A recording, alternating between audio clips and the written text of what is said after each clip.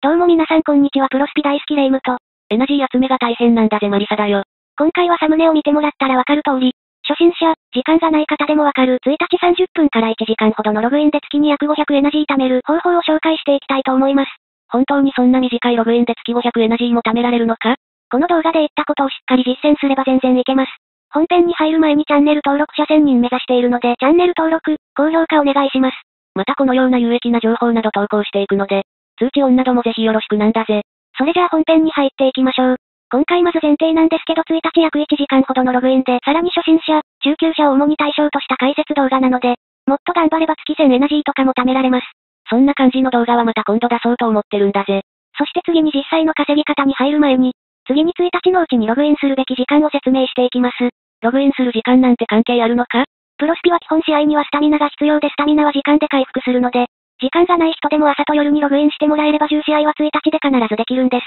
またできればそれを朝昼夜にするなどなるべく1日に多くの試合をするようにするのが大事なんです。1日の試合数で同じ時間のログインでも獲得できるエナジーは全く変わってきます。それではこっからは実際にエナジーの稼ぎ方を基本編5個、応用編2個に分けて解説していきたいと思います。よろしく頼むんだぜ。まず基本編1つ目のログインボーナスです。これがだいたい月130エナジーから150エナジー貯まります。思ったよりも多く貯まるんだな。ログインボーナスはマジで大事なんで毎日朝とりあえず開く習慣をつけましょう。また、不具合のお詫びなどでもログインだけで、エナジーや契約書がもらえるのでログインはマジで大事です。次に基本編2つ目がディリーミッションです。ディリーミッションってそんな大事なのか？ディリーミッションだけで月約150から200エナジー貯まります。正直始めたばっかりだったりする人は大事さがわからにと思いますけど、エナジー貯めるにはめちゃくちゃ大事なんです。なので毎日朝ログインした時ついでにディリーミッションを全部クリアしてください。1日に月4から8エナジーもらえます。その時に注意してほしいのがミッションを選んでから試合に臨んでください。たまに意識しないと難しいミッションがあるので先にしっかりとミッションを決めときましょう。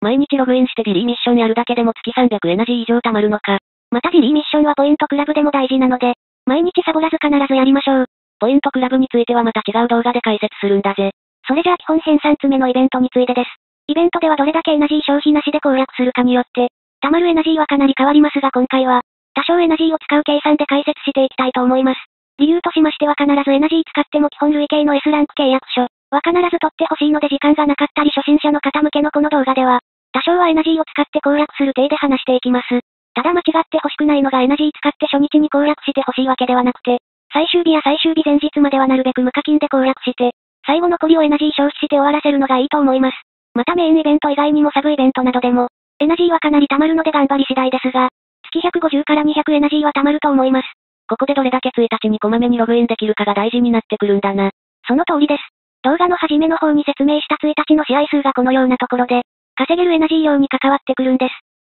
あとイベントで注意してほしいことがもう5つあって、スタミナ系ではなくコスト系のイベントの時、必ずスタミナ消費も忘れないでほしいということです。これは後の4つ目、5つ目に関わってくるんですけど、スタミナを使って試合をすることでかなり獲得できるエナジーは変わってきます。また V ロードは初回報酬だけだと思ってる方いると思ってるんですけど、初回報酬以外にもかなり美味しい報酬などももらえるのでしっかりやりましょう。それじゃあ4つ目いきたいと思います。4つ目の方法はミッションです。ミッションでは特に始めたばっかの方などだとかなりエナジーがもらえます。そこで大事になってくるのがこの動画で何回も言ってる。毎日しっかりと試合をやることで、ただ試合をするだけではなくミッションの内容を見てから、その内容を達成できるように意識して、試合をすることでかなりエナジーが溜まるようになります。また V ロードだけではなく試練などに関する、ミッションや特訓などについてのもあるので、オーダーを強化するためにも良いので、ミッションは進んで終わらせていきましょう。ミッションでは始めてからどれぐらいかにもよりますが、月30から50エナジーほどもらえます。またミッションとは少し話が変わってくるんですが、V ロードの初回報酬以外の報酬についてで、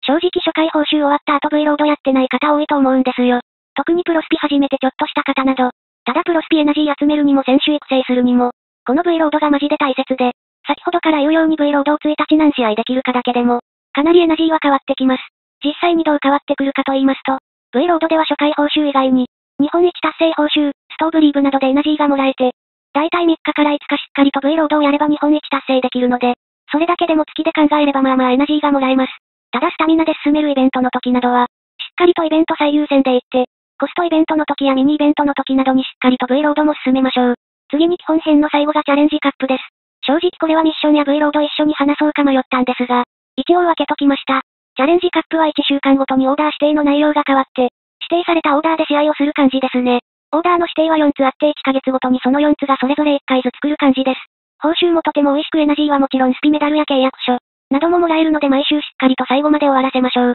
でもチャレンジカップのコスト430以下とか純正のやつは難しくないか。確かに難しいと思うんですけど、純正の方はズランクが多くいる球団の D ランクやクランクを、ノーマルスカウトで集めてもらえばできます。また430コスト以下の方でもその選手などを使ってもらったりすればできるので、少し大変かもしれませんがぜひ頑張ってください。まあチャレンジカップでは月50エナジーほどもらえます。ここまでで基本編は終わりですが、今説明したことを毎日や毎週、毎月欠かさずにやれば1日のプレイ時間は短くても500エナジーは稼げると思います。思ったより簡単そうでやる気出てきたんだぜ。そうなんです。一応基本編をおさらいすると、毎日ログインして必ずディリーミッションを終わらせる。イベントはなるべく自動回復で終わらせて、毎日来るようなサブイベントも必ずやる。そしてスタミナがあったらとりあえず V ロードや試練、チャレンジカップをやる。そしてできればミッションもちゃんと見てやる。こんな感じです。それじゃあ次応用編に行きたいと思います。応用編ってことは難しいってことなのか？難しいっていうよりも初心者の人などには稼ぎにくかったり、あとは少し時間が多くかかったりしてしまう感じだな。応用編一つ目がリーグだぜ。